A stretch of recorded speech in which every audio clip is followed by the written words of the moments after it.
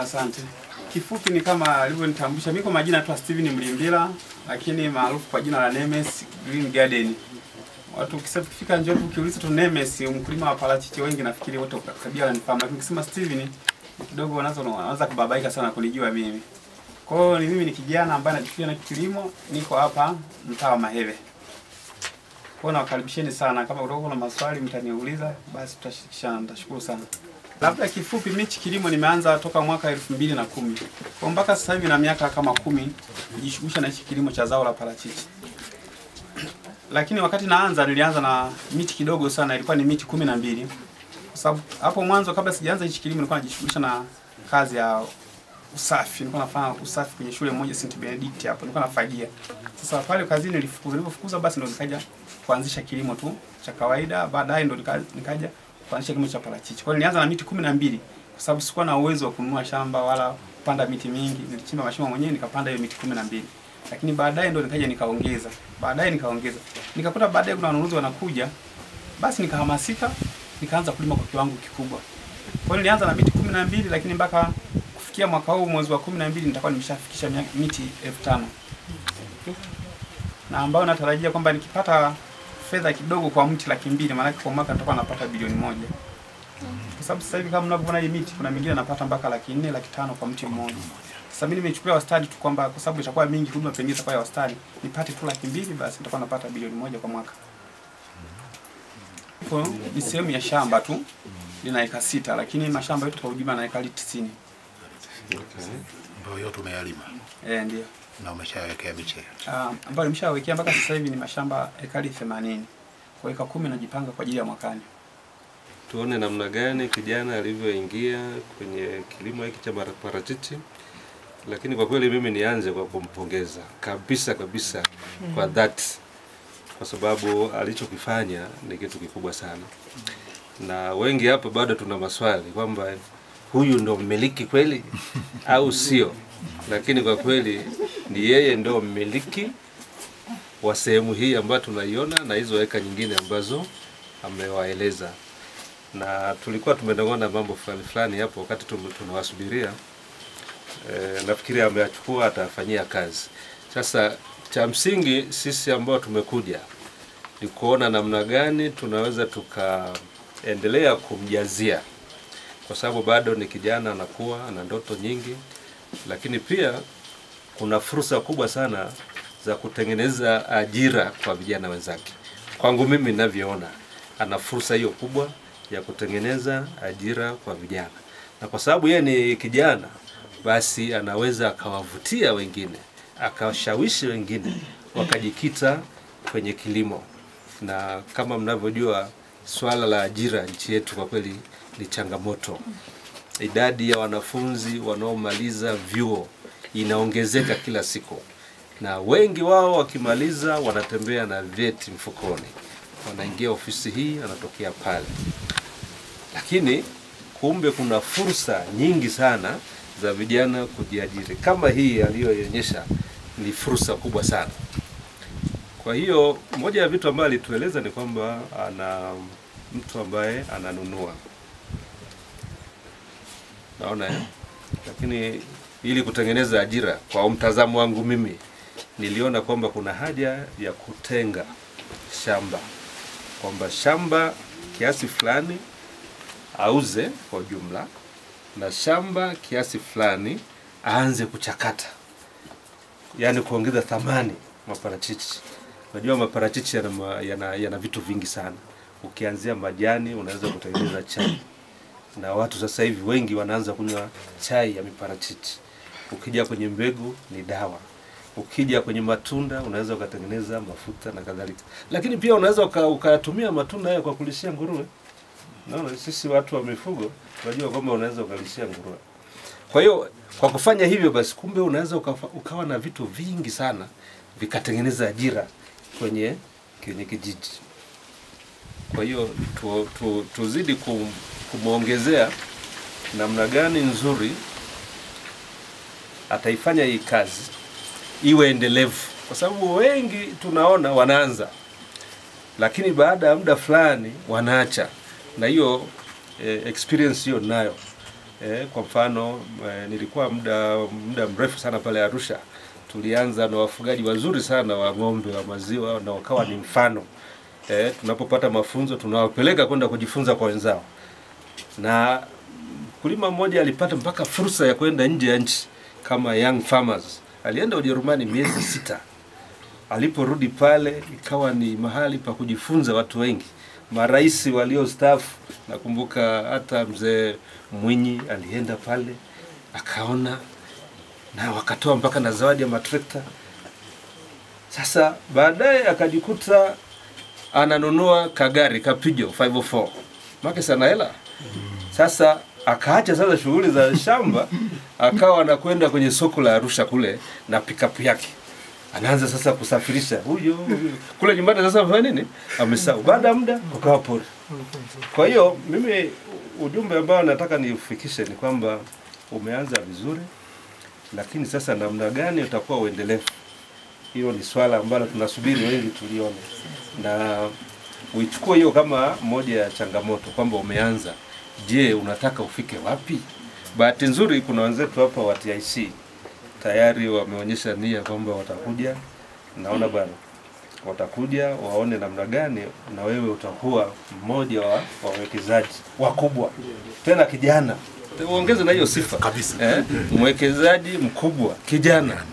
Naona bwana, nafikiri hiyo ita, itaweza kumpeleka mahali fulani, lakini tusiwaache watu kama hao, na bahati nzuri wenzetu wa sekretariat ya mkoa wapo, watu kama hawa, tusiwaache, kwa sababu changamoto nayoona ni kwamba mtu anaweza akaanza vizuri eh, akapata mtaji kama alivyotuambia kwamba kuna bilioni anapata, akaanza kuingia kwenye biashara nyingine tofauti. Baada ya muda utakuta huko kunakuwa pori. Unaona bana? Kwa hiyo kama hata kama atawekeza namna nyingine, lakini nafikiri kwenye shamba asije akaja eh, na kwa sababu wanazungumzia in terms of billions of money. Kwa hiyo kuna haja sasa eh, kwangu mimi nafikiria kwamba kuna haja ya kuwa na mfumo wa kuweza kutunza fedha. Sasa hapo swala la kuwa na manager linaingia hapo. Lazima kuwe na manager wa kukushauri utaalamu sasa ule wa, wa, wa fedha, namna gani fedha unaipata, una invest kiasi gani, mahali gani, naona bwana, na hiyo ndo njia ambayo naona mimi ni endelevu.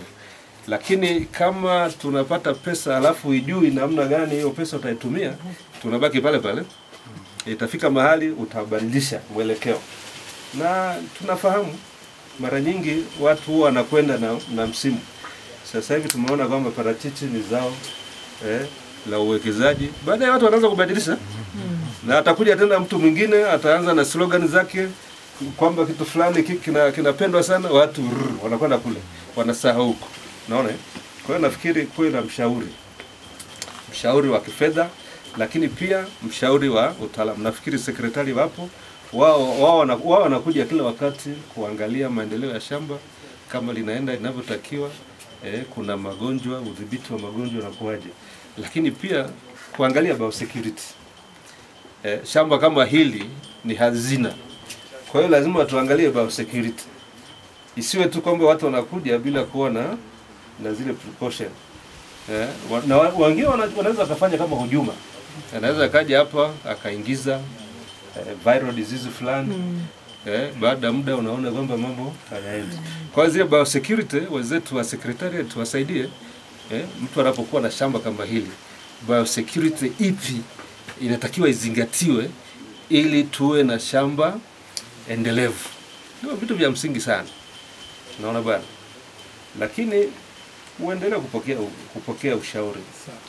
Na Waswahili wanasema nyumba inayopokea wageni ndio mara nyingi inayofagiliwa hata ile barabara ya kutokea. Unaona bwana, kama upokee wageni, ina maana kwamba utajis, utajisahau. Eh, hata kuvaa vizuri. Kwa mfano leo umetia yes, vizuri kwa sababu ulijua kwamba Kuna ugeni. kuna ugeni. Unaona na kwa sababu ugeni unakuja, wanatoa ma, mawazo mbalimbali. Sasa yale ma, mawazo yale ndio ya msingi kuyazingatia. Unakuwa na kitabu chako, unaandika pale siku fulani eh, watu walikuja ku- ilikuwa wiki ya chakula, wameshauri moja mbili tatu. Kwa hiyo unakuwa na kitabu chako cha kumbukumbu ambayo sasa ile ndio itakuwa inakuongoza katika shughuli zako. Vinginevyo kama unakaa unasikiliza vinapita na nini, ni- likely uta, utakuwa umesahau. mimi ni mmoja ya wale wakulima au kama wafugaji kwamba wanakuwa ni wanalalamika kwamba saa zingine kile wanachokitumia kwenye uwekezaji na kile wanachokipata kinakuwa ni tofauti. Kwa kweli mimi kwangu binafsi imekuwa ni tofauti kidogo, na kama nilivyoeleza kwamba nilianza na miti kumi na mbili. Kwa hiyo wazi naonyesha kwamba kuna faida, kwa sababu nimeendelea kuongeza mpaka sasa hivi ikifika mwezi wa kumi na mbili nitakamilisha miti elfu tano maana yake kwamba napata faida. E, na kitu kikubwa ni mashamba haya ambayo nilianza ndio hayo ambayo napata pesa nahudumia yenyewe na ninanunua mashamba mengine na ninaongeza. Kwa mfano hapa tulipo mti huu mwaka jana nilipata kilo mia tatu Eh, eh, huu hapa kilo mia tatu ambapo nilipata laki na nusu kwa mti huu. Sasa mwakani natarajia kabisa nitapata kuanzia kilo mia tano. Sasa ukipata kilo mia tano na sasa hivi baadhi ya makampuni yameshatangaza elfu moja mia saba. Kwa hiyo unaona itakuwa zaidi kama laki sita au saba kwa mtu huu. E, na ukiona gharama ina fedha nitakayorudisha hapo sidhani kama itazidi kwenye elfu thelathini kwa mti mmoja. Sasa ukipata laki saba au laki sita elfu thelathini narudi hapo. Ni hela nyingi, ni hela nyingi, lakini bado ni kiasi kikubwa kinabaki ambacho nitafanyia shughuli nyingine au nitaendelezea mashamba mengine ambayo ni madogo hajafikia uzalishaji. Ndio.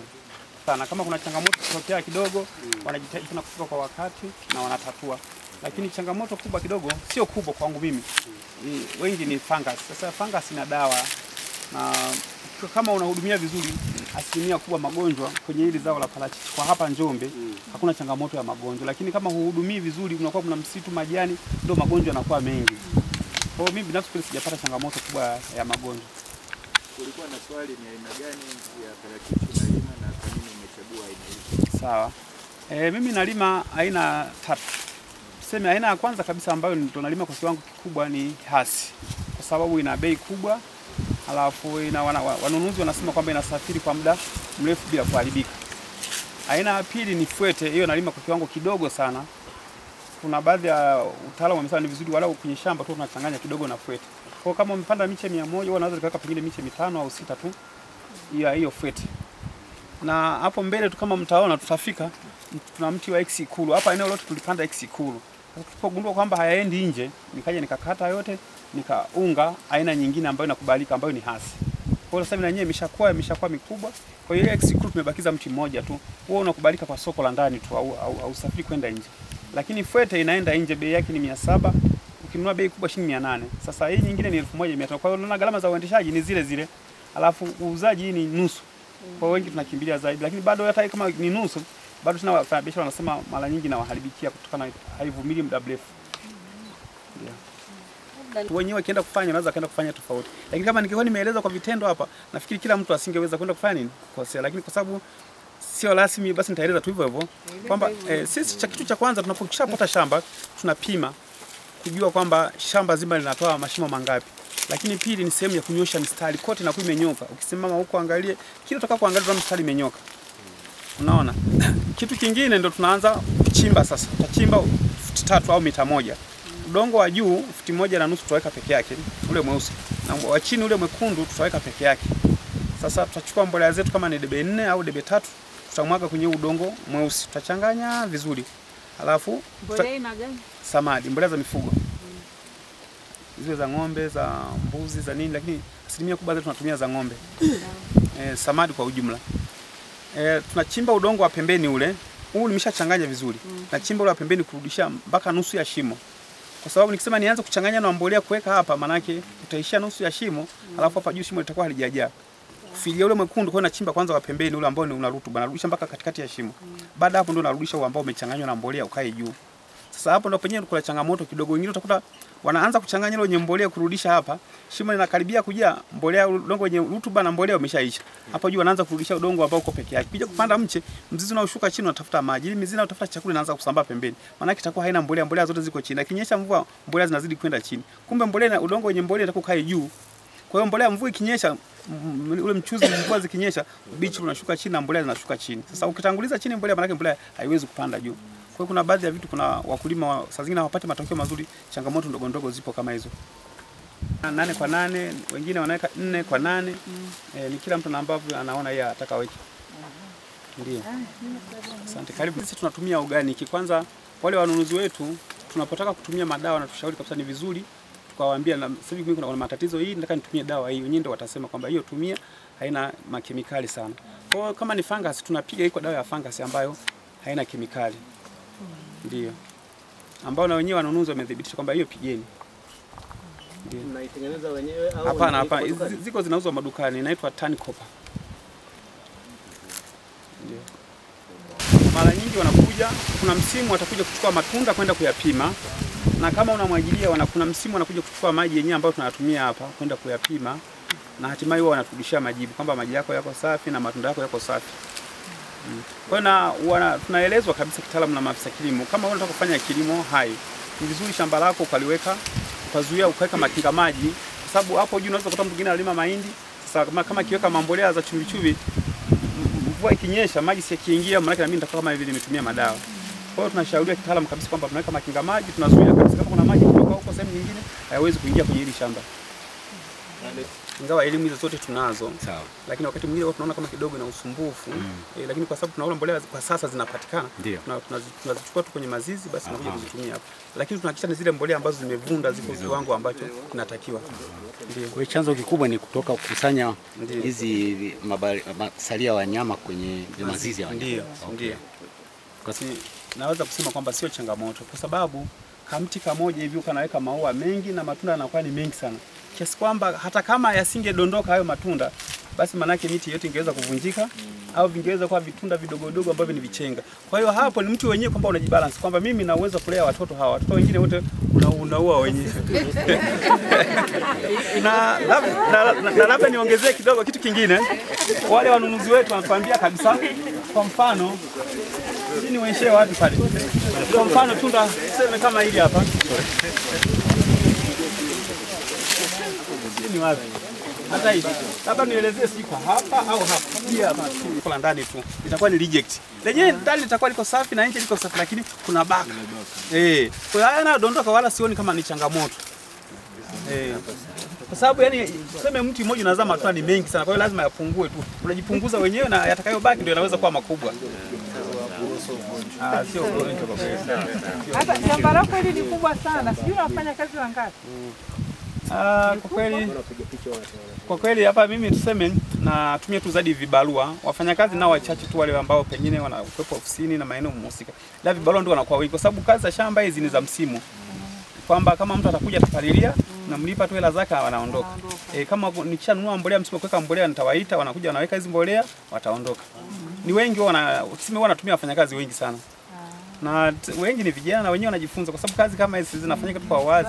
Wako wenyewe ambao wameanzisha na wenyewe wana mashamba yao, kutokana wanajifunza kwangu, basi maisha yanaendelea. Kwa hamna changamoto ya vibarua au? Ah, Kwa Njombe kwa kweli changamoto ya vibarua mimi binafsi sijakutana nayo, labda tu kwamba pengine wewe mwenyewe huwa hulipi hela, watu wanaambizana bwana, ukienda kufanya kazi kwa mtu fulani alipe hela, ndio utakutana na changamoto. Kama unawalipa vizuri, wala hakuna shida hiyo.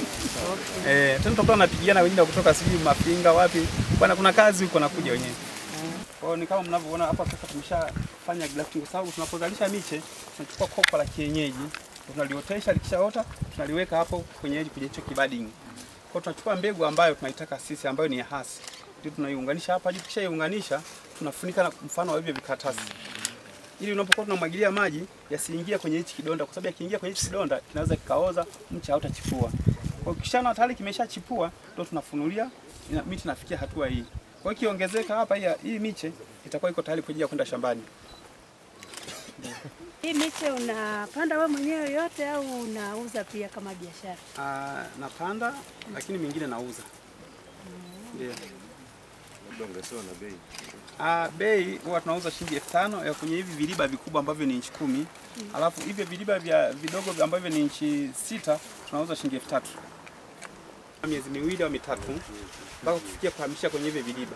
Na ukishahamisha kwenye hivyo viliba kuna miezi mitatu ya kukua mpaka mche ufikie standard ya kugraft. Na ukisha graft kuna miezi mitatu mingine ya kuchipua mpaka kufikia hatua ya kwenda shambani. Kwa hiyo wastani ni miezi tisa ndio unafikia unakuwa uko tayari kwa ajili ya kwenda shambani.